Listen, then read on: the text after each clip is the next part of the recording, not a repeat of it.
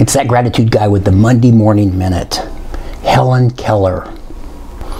You might ask, why gratitude when confronted with many other mindsets available to you? Your mindset is a choice like everything else in your life. I choose gratitude because it keeps me positive and it enhances my view of my life. Helen Keller was once quoted as saying, So much has been given to me, I have no time to ponder that which has been denied. I guess if Helen Keller could be positive, just about anybody could be. It would have been so easy for her to maintain a bad attitude and feel sorry for herself, given her blindness.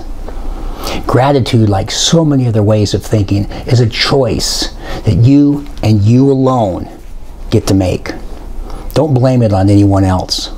Choose gratitude for your life and watch your attitude change. I'm that gratitude guy. Remember, be grateful and never quit.